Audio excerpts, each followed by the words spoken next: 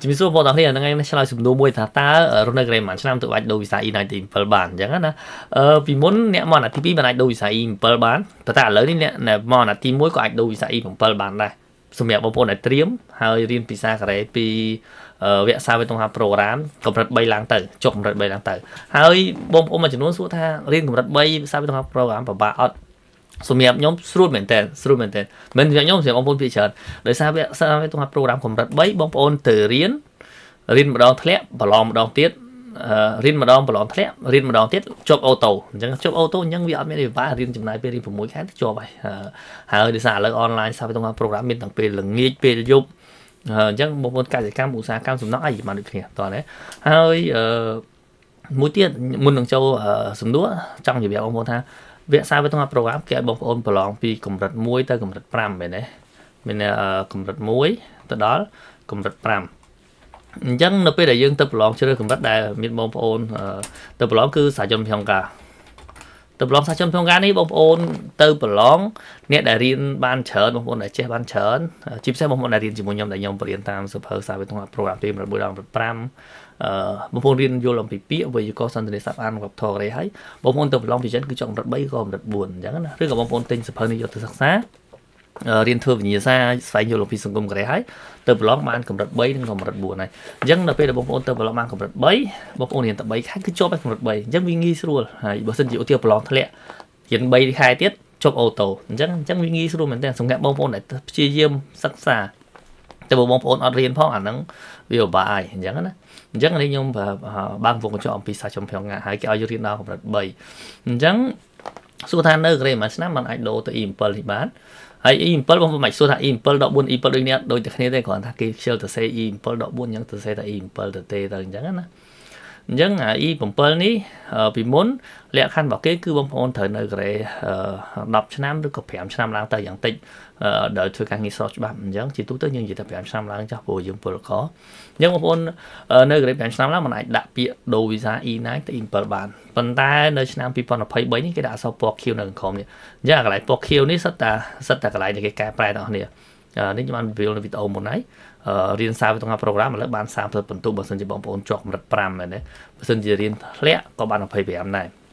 អញ្ចឹងនេះខ្ញុំបានវីដេអូមុនបងប្អូនមើលវីដេអូមុនអញ្ចឹងកន្លែងនេះអឺសម្រាប់បងប្អូនដែលមកកូរ៉េអាណត្តិទី1ក៏ដោយបងប្អូនរៀនអឺដល់កម្រិត3នេះសាវេតុងហាប្រូក្រាមសាំតាន់គេអ៊ីសាំងអ៊ីស៊ូមែនទេមានករណីដែលបងប្អូនរៀនចប់សាវេតុងហាប្រូក្រាមកម្រិត3ឡើងទៅអាហ្នឹងគឺ 4ឆ្នាំ10ខែឡើងក៏បងអាចដូរវីសា E9 E9 7ហ្នឹងបានដែរតោះណាមានថាអឺសម្រាប់លក្ខខណ្ឌទូទៅគឺធ្វើការ5ឆ្នាំឡើងទៅប៉ុន្តែ5ឆ្នាំទៅ10ឆ្នាំប៉ុន្តែដល់ពេលអឺសម្រាប់បងប្អូនដែលរៀនចប់សាវិទ្យាប្រូក្រាមកម្រិត3នោះបងប្អូនធ្វើការតែ4ឆ្នាំឡើងទៅ